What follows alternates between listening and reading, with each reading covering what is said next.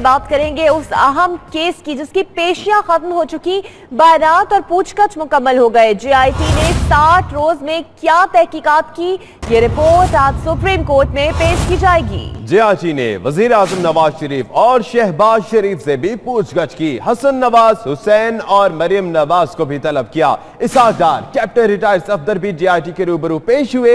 हुसैन नवाज़ सबसे ज़्यादा छह मरतबा जेआईटी के रूबरू पेश हुए। जेआईटी के दो अरकान ने दुबई जाकर भी तहकीकत की। दूसरी जानब सियासी पारा भी रूज पर है और एतराजात और इल्जामात का सिलसिला भी जारी है। कल तिरसठवा इजलास हुआ जेआईटी का और अब पेशिया खत्म बयान और पूछगछ मुकम्मल हो चुकी। जेआईटी ने साठ रोज में क्या तहकीकात की? रिपोर्ट आज सुप्रीम कोर्ट में पेश की जाएगी। जेआईटी ने वजी आज़म मियाँ नवाज़ शरीफ, शहबाज शरीफ से भी पूछगछ की। यहाँ तक कि उनके साहबजादों हसन हुसैन नवाज़ और मरियम नवाज़ को भी तलब किया गया। इसहाक डार और कैप्टन रिटायर्ड सफदर को भी ज्वाइंट इन्वेस्टिगेशन टीम ने तलब किया।